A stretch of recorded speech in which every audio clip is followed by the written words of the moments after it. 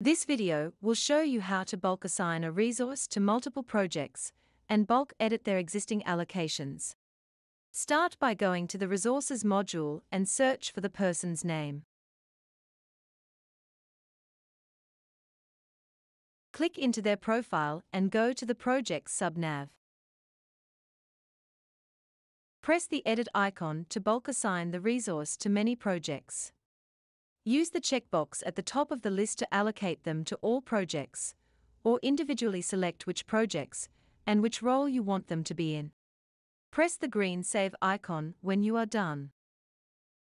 You can also manage their existing project allocations by checking the boxes on the left-hand side. Remove allows you to remove them from the selected projects. Select the roles that you don't want them to be in anymore and press Save.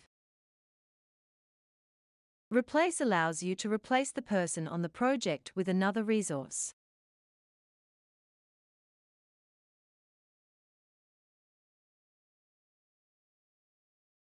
Thanks for watching this UniPhi tutorial.